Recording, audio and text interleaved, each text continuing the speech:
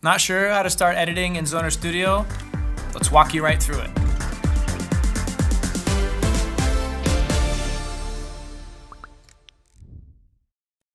Howdy everyone, hope you're doing well. My name is Thomas, and in this video I'm gonna guide you how to edit your very first photo in Zoner Studio. Let's go take a look. In the catalog, you can find a folder called Sample Photos with five pre-edited photos you can use to try out your own edits. The first time you launch Zoner Studio, it might take a bit longer though. This is because it's loading data from those sample photos, and now that they're ready, let's try editing this landscape. This is what your final photo might look like, and to see what it looked like before editing, click this picture icon in the right panel. To reset the photo and apply your own edits, click this arrow. Apply default adjustments, and now you're ready to go. Most of the time, the first thing you want to do is crop the photo and adjust the composition. Use the temperature slider to correct color balance and adjust the photo to warmer or cooler tones.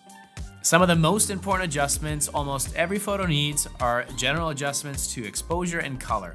You can speed up the process using AI automatic enhancement, but we're gonna go step by step this time. First, I'm gonna adjust the photo's exposure. That means contrast, highlights, and also shadows.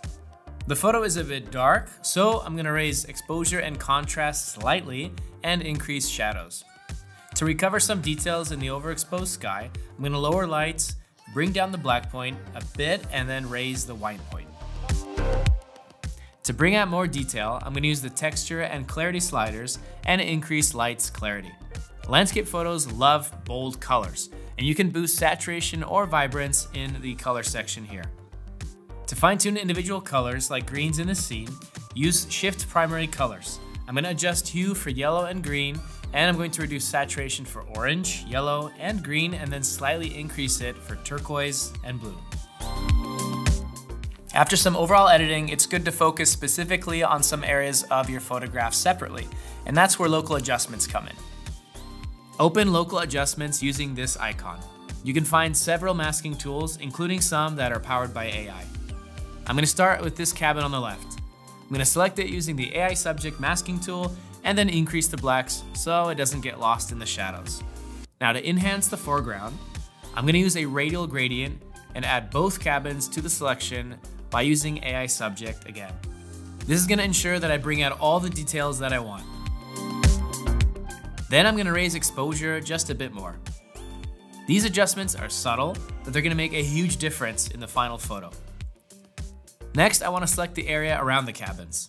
I'm going to duplicate the mask I just used, remove the adjustments, and set it to subtract from mask.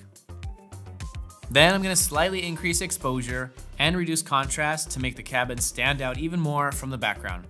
And to fine tune this even more, I'm going to select the cabins again using AI subject, lower black point and shadows, and then increase blacks.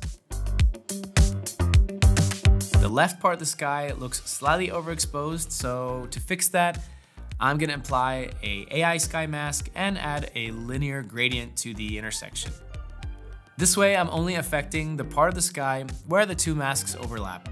I'm gonna lower exposure to darken it just a bit. Now let's adjust the sky as a whole. I'm gonna apply the AI sky mask again, lower exposure, and then raise black point and lower lights. This helps emphasize the parts of the sky that we want to highlight. And I'm also gonna increase clarity just to make the cloud edges stand out more and raise saturation just to boost the colors of the setting sun. Let's add a linear gradient to the grass at the bottom of the photo where we can slightly lower exposure once again. This is gonna make the grass darker and is gonna lead the viewer's eye to the center of the photo. And because I'm a perfectionist, let's just add a radial gradient to the blades of grass. But this time, let's increase exposure to brighten and highlight them. One last adjustment though, some parts of the sky just still look a little hazy. So I'm going to use the luminance range tool to select only the brightest areas and subtract the mountains from the selection. Then I'm going to lower the white point, increase whites and lights, and use the dehaze slider to remove the haze. And lastly, I'm going to increase vibrance to bring out the colors. You need to remove unwanted objects, use retouching tools, and you can use them to remove distractions like dry grass, rocks, or this box next to the cabin. Use Control, click the source area, and paint over the object you want to remove.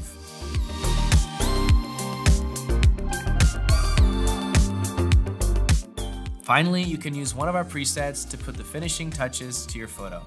We've designed over 200 presets and we're always adding more. If you want to download the complete preset pack, you'll find a link here, but also in the description. Grab it and explore the possibilities. The best thing about editing in the develop module is that all your edits are non-destructive. That means you can go back and change them anytime you want. In fact, your edits are saved as a special file and your original photo on your hard drive actually remains unchanged. If you want to save or upload your edited photo online, click the green export button, choose your format, compress it for the internet if you'd like, and click export. A new folder is created in your pictures folder with the exported image. Now you know how to edit a photo in Zoner Studio, so don't be afraid to dive in and explore these options and techniques on your own photos. If you like what you saw, give us a thumbs up and don't forget to subscribe so you never miss another video from us. Happy shooting!